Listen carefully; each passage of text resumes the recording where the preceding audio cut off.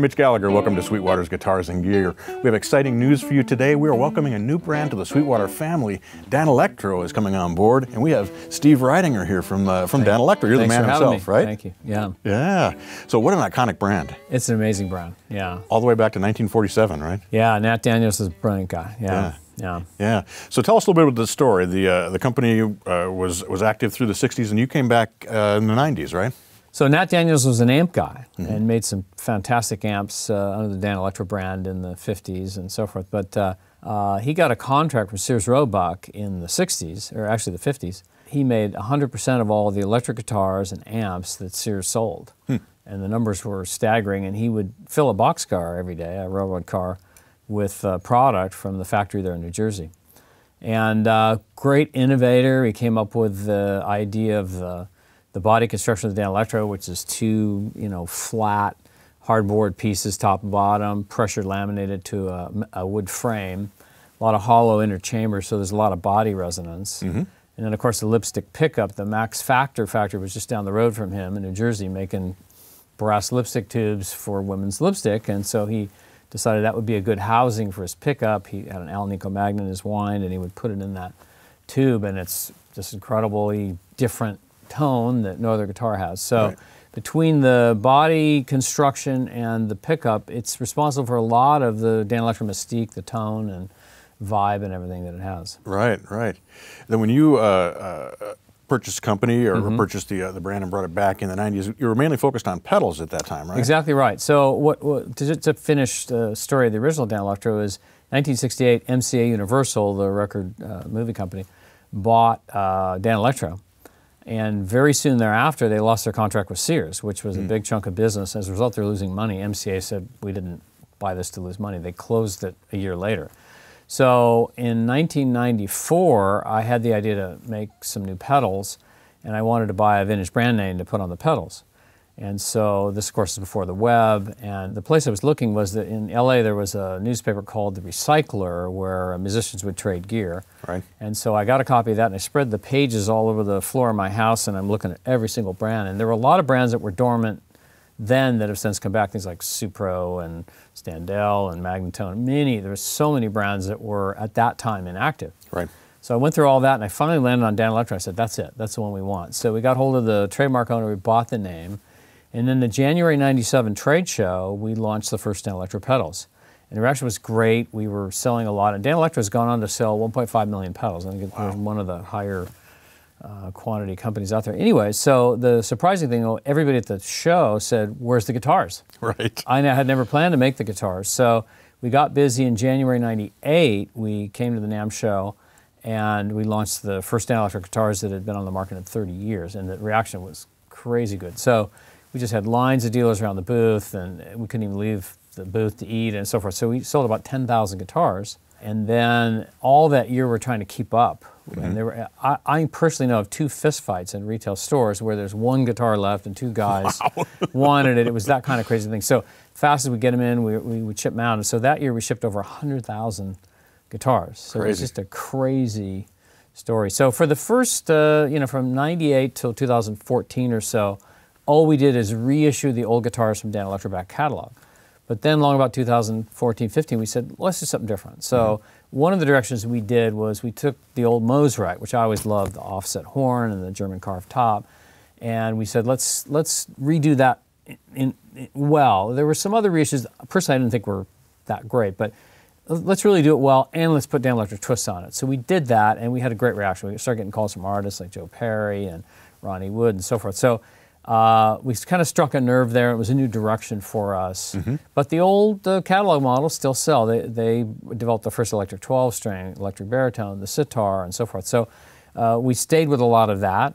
Uh, we did a resonator. Interesting because the resonator, Danelectro never made it, but some people took old Danelectros and uh, made a Frankenstein resonator out of it. We decided to go that direction. Right. And we got a high output. The problem with a lot of the resonators, you know, is the output of the, the piezo is so low, you have to preamp or something.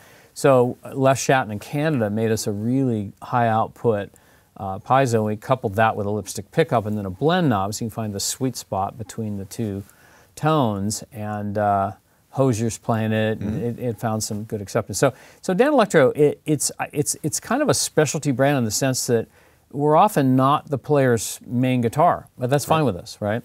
Because we fill some of these other uh, niches very well. Like we, I think we have the best sounding electric 12, best sounding electric baritone, and so forth. So, for those specialty needs, uh, we're there, and I think Right. that's part of our appeal. So, yeah. Yeah, certainly part of the arsenal of every studio player. Yes, You have to have the Dan Yeah. Baritone and you know even the Longhorn bass. Yes. You know those it's such a distinctive tone. I got a story on Longhorn Bass. So uh, the Who were recording My Generation in London, and they had uh, Entwistle. He had the he had the Longhorn bass. He broke a string. There were no other short scale bass strings in London, so they had to go out and buy a second Longhorn. He broke another string. It took three Longhorns to finish that song. Oh really? That's crazy. Yeah, I never heard that one before. That's Yeah. awesome. That's awesome. yeah.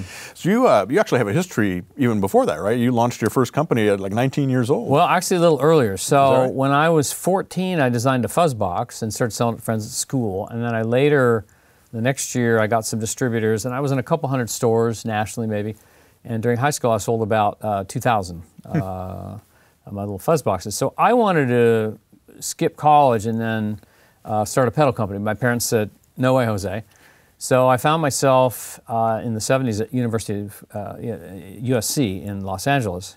So I was there, and I lasted about a semester, and I dropped out at age 18 to start Foxx Pedals in North Hollywood, California. Mm-hmm. And we're known for the Tone Machine and uh, you know some other things. But Sure. uh, so that was the first thing, and then in the 80s I brought the Arion pedals to the U.S. and did the Gorilla amp. That was uh, something we developed.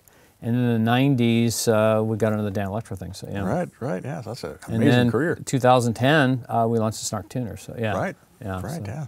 All right. Right. Yeah. Absolutely.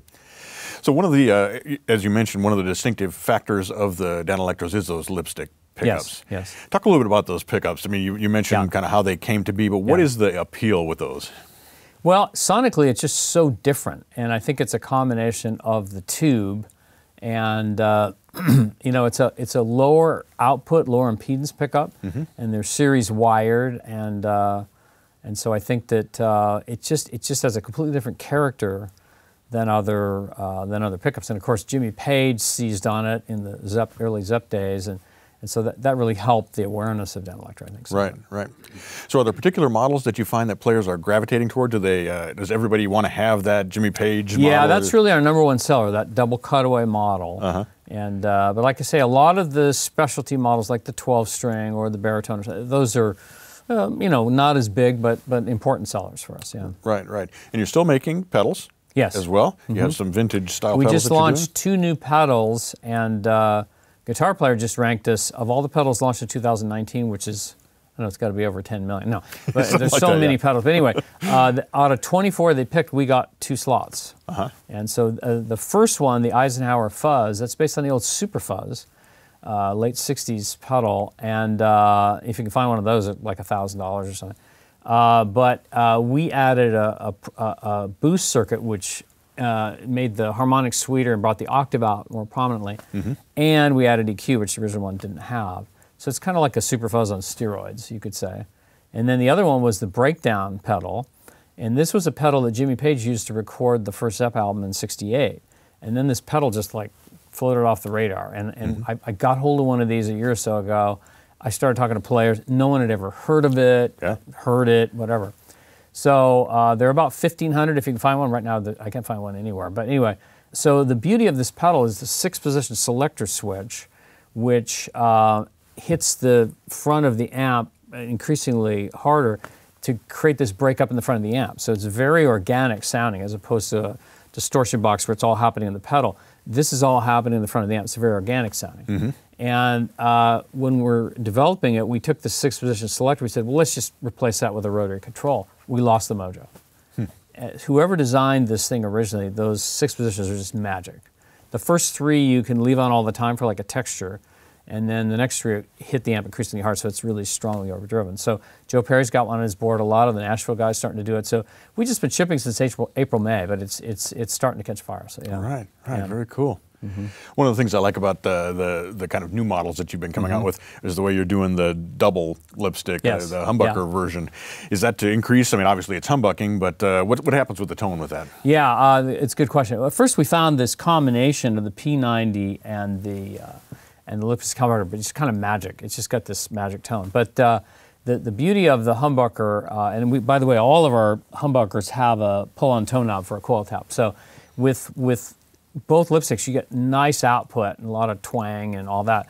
But if you want uh, to use just one in combination with the P90, you still have a, a very different tone, especially in the 12 string, a completely different tone with one tube in the in the bridge rather than tube. So, so it gives you a lot of a lot of tone possibilities. But you're right, you get a lot more output, which is one of the issues with the lipstick, it's a, it's a lower impedance, lower output pickup, and so it's not like a Strat pickup or something. So to get more output, the two of them really does the job. So yeah. Right, right. Yeah. Well, I have to caution our, our viewers because the problem with these guitars is that they're addictive. so you get the double cutaway, and then you yeah. want the 12 string, and then you yeah. want the baritone, and then you want yeah. the. Uh, well, the nice thing about our line is most of our guitars are 499 or less. So. Right.